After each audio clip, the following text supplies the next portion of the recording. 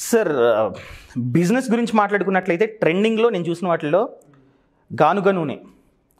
ఇప్పుడు ఆయిల్ అన్నది మనందరికీ తెలుసు రిఫైన్డ్ ఆయిల్ అంటే అంత మంచిది కాదు. అవును. ఒక పదార్థాన్ని రిఫైన్ చేసి మనకి ఇస్తూ ఉన్నారు. మనం తింటూ ఉన్నాం. కానీ గానుగ నూనె చాలా బాగుంది.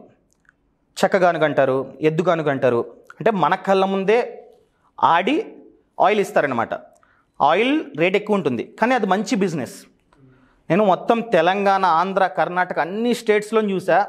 One of the best business వచ్చేసి గాను నూనె చాలా చోట్ల మెషిన్స్ ఉంటాయి చూడండి. ఎంత? మెషిన్ వచ్చేసి త్రీ ల్యాక్ మంచిగా బిజినెస్ జరుగుతుంది.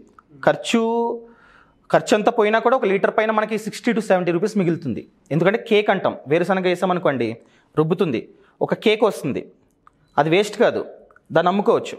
కేజీ వచ్చేసి సిక్స్టీ ఫిఫ్టీ ఆ విధంగా అమ్ముకోవచ్చు. అదంతా ప్రాఫిటే అదేవిధంగా లీటర్ ఆయిల్ పైన ఒక ten rupees twenty rupees profit వస్తుంది. Fifty plus twenty seventy rupees per litre. ఎన్ని లీటర్స్ అమ్ముకుంటే అన్ని సెవెంటీస్. రా మెటీరియల్ అంతా తీసిన తర్వాత నేను చెప్తుంది. నేను చూసిన వాటిలో one of the best business అదేవిధంగా మష్రూమ్ చాలామంది మష్రూమా అంటారు.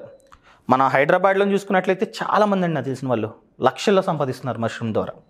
ఏముంది ఒక చిన్న పొలం అవసరంలా మట్టి అవసరంలా. మన ఇల్లు మన ఇల్లు ఉంటుంది ఒక రూమ్ ఖాళీగా ఉంటుంది. రూమ్లో పెట్టేసుకోవచ్చు సెటప్ మంచిగా బిజినెస్ అవుతుందన్నమాట. అమ్ముకోవచ్చు. ఇప్పుడు మన హైదరాబాద్లో చూసుకున్నట్లయితే మార్కెట్ బాగుంది. విలేజ్ సైడ్ వెళ్ళినట్లయితే కొంచెం మార్కెట్ డౌన్ ఉంటుంది. మన హైదరాబాద్లో ఇప్పుడు డిజిటల్ మార్కెటింగ్ మొత్తం ఎక్కడ చూసినా సెల్లింగ్ అన్నది ఆన్లైనే. సో పెద్ద కష్టం కూడా కాదు. నేను చూసిన వాటిలో బాగుంది. ఎందుకంటే నేను ఇవన్నీ ఇంటర్వ్యూస్ చేశా. ఏదో నేను గూగుల్లో సెర్చ్ చేసి చెప్పట్లా. సో ఎవరైతే మంచి లాభాలు పొందుతున్నారో వాళ్ళని ఇంటర్వ్యూ చేశా. Like six hours seven hours ఆ విధంగా ఇంటర్వ్యూ చేశాను కాబట్టి వాళ్ళు చెప్పింది నా మైండ్లో ఉంది కాబట్టి నేను చెప్తున్నా. సో ప్రెసెంట్ అడిగినట్లయితే మీరు అన్నారు ట్రెండింగ్ అన్నారు కాబట్టి చెప్తున్నా. ఎద్దు గానుగనునా లేకపోతే గానుగనునా అదేవిధంగా మష్రూమ్ ఫార్మింగ్ బాగుంది. అదేవిధంగా చాలామంది కెమెరాస్ ఉంటాయి మంచి మంచి కెమెరాస్ ఉంటాయి. ఫోటోలు తీస్తారు. దాన్ని ఏ విధంగా యూస్ చేసుకోవాలి అర్థం కాదు. నేను చాలామంది చూసా. డీపీస్ అని చెప్పి ఇన్స్టాగ్రామ్ వాళ్ళకి వాళ్ళకి తెలిసిందే కదా ఇన్స్టాగ్రామ్లో ఫోటో దిగుదామని చెప్పి కెమెరా కొనుక్కుంటారు. అదే కెమెరాలో ఫొటోస్ తీసి కొన్ని వెబ్సైట్స్ ఉన్నాయి. షటర్ స్టాక్ అని క్యాన్వా అని జెట్ ఇమేజెస్ అని మీకు తెలిసిందే కదా. సో వాటి వాటిలో మనం అప్లోడ్ చేసుకోవచ్చు. మనం మంచి ఫోటో తీసి దాన్ని అప్లోడ్ చేసుకున్నట్లయితే ఎవరైనా కొనుక్కున్నట్లయితే కమిషన్ వస్తుంది. కొన్ని వెబ్సైట్స్లో ఏంటంటే అప్లోడ్ చేస్తేనే డబ్బులు ఇచ్చేస్తారు. ఎందుకు యూజ్ చేసుకోకూడదు కెమెరాస్ని మనం? ఇన్స్టాగ్రామ్ డీపీస్ ఫేస్బుక్ డీపీస్ కోసం కాదు కదా కొన్నామంటే దాని ద్వారా రిటర్న్ పొందాలి. అలా ఆలోచించాలి. అది కూడా ఒక రకమైన ప్యాసివ్ ఇన్కమే అదేవిధంగా చాలామందికి స్థలం ఉంటుంది. నేను ప్లాట్ కొన్నా స్థలం కొన్నా ఏ నేను రిచ్ అంటారు.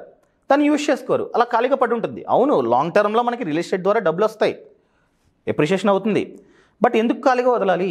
రోడ్డు పక్కన ఉన్నట్లయితే లీజ్కి ఇవ్వండి రెంట్కి ఇచ్చుకోండి మంత్లీ మంత్లీ తెచ్చిస్తారు ప్యాసివ్ ఇన్కమ్ కష్టపడట్లా వస్తుంది డబ్బు. అదేవిధంగా ఇంతకుముందు చెప్పా చాలామంది బ్యాంక్ అకౌంట్లో డబ్బులు దాచుకుంటారని చెప్పి. బ్యాంక్ అకౌంట్లో ఉంచితే ఉంచినట్లయితే మనకి త్రీ పర్సెంటేజ్ ఫోర్ పర్సెంటేజ్ వడ్డీ ఇయర్లీ నథింగ్ అదే డబ్బుని స్టాక్ మార్కెట్లో కొన్ని షేర్స్ ఉంటాయి. ఆ కంపెనీస్ ఏంటంటే మనకి అస్తమాటు డివిడెండ్ ఇస్తూ ఉంటాయి. అక్కడ ఇన్వెస్ట్ చేస్తామనుకోండి డివిడెంట్ వస్తూ ఉంటుంది. అంటే డివిడెంట్ అంటే ఆ కంపెనీకి లాభం వచ్చినట్లయితే లాభంలో కాస్త పాటిని షేర్ హోల్డర్స్ ఇస్తారనమాట అంటే ఎవరైతే షేర్స్ కొంటారో వాళ్ళ షేర్ హోల్డర్స్ వాళ్ళకి ఇస్తారు. మనం వద్దన్న కూడా అకౌంట్లో వచ్చి డబ్బులు పడతాయి. ప్యాసివ్ ఇన్కమ్ మన ఇన్వెస్ట్మెంట్ అలాగే ఉంటుంది మన షేర్స్ అలాగే ఉంటాయి దాని ద్వారా డివిడెంట్ మనకు వస్తూ ఉంటుంది. అది కూడా ప్యాసివ్ ఇన్కమే ఇల్లు ఖాళీగా ఉంటుంది పైన ఖాళీగా వదిలేస్తాం. రెంట్కి ఇచ్చుకున్నట్లయితే ప్యాసివ్ ఇన్కమ్ ఇలా ఒక సోర్స్ మీద కాకుండా త్రీ ఫోర్ సోర్సెస్ని క్రియేట్ చేసుకోవాలి. అలా క్రియేట్ చేసుకున్నట్లయితే యాక్టివ్ ఇన్కమ్ ఉంటుంది జాబ్ ద్వారా వచ్చేది ఎక్స్ట్రా ఇన్కమ్ కూడా వస్తూ ఉంటుంది. సో నేను చేస్తుంది చెప్తున్నా ప్రతిదీ చాలామంది ఏంటంటే ఇంట్లోనే ఉంటారు మహిళలు. ఏదో ఒకటి చేద్దాం సంపాదించుదాం హస్బెండ్ మీద డిపెండ్ అవ్వకుండా అనుకుంటారు. అలాంటి వాళ్ళకి చాలా బిజినెస్ ఐడియాస్ ఉన్నాయి. ఫర్ ఎగ్జాంపుల్ పాపడ్ అప్పడాలు.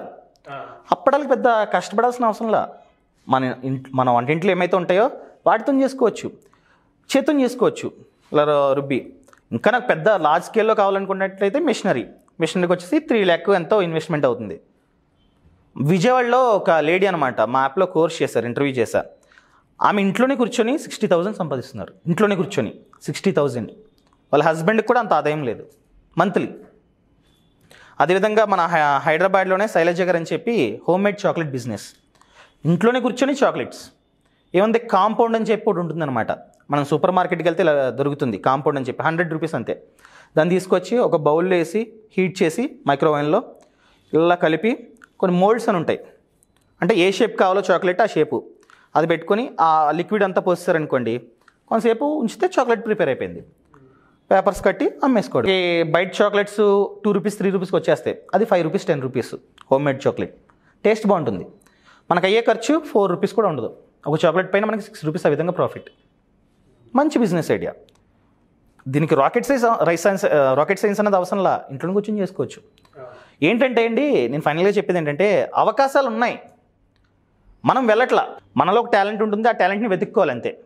అండ్ ఇంకొకటి ఏంటంటే చాలామంది పేరెంట్స్ ఇది తప్పు చేస్తున్నారనమాట పిల్లల్లో ఒక టాలెంట్ ఉంటుంది. తను అబ్జర్వ్ చేయరు వాళ్ళు. ఏదో వాళ్ళకి ఇష్టం వచ్చినట్టు మా బాబు డాక్టర్ అవ్వాలి మా బాబు ఇంజనీర్ అవ్వాలని చెప్పి వాళ్ళకి నచ్చింది చేపిస్తారు. అది చాలా అంటే చాలా పెద్ద తప్పు. ఓకే. మా ఇంట్లో నన్ను సరే నువ్వు మా ఊర్ మా ఊర్లో వీడియోస్ లేకపోతే ఫేస్బుక్ పేజీలు అవన్నీ చేస్తుంటే ఎంకరేజ్ చేశారు నన్ను.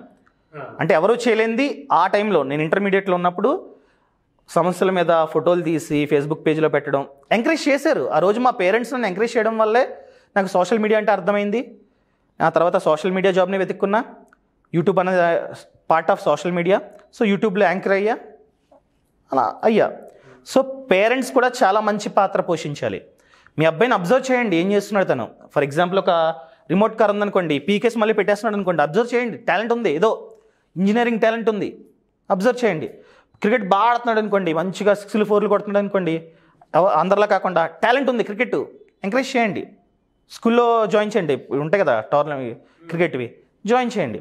అలా వాళ్ళలో ఏదైతే టాలెంట్ ఉందో దాన్ని వాళ్ళు ఎప్పుడైతే ఫైండ్ అవుట్ చేసి దాన్ని ఎంకరేజ్ చేస్తారో they can see wonders in the future proud parents అవుతారు. Thanks for watching.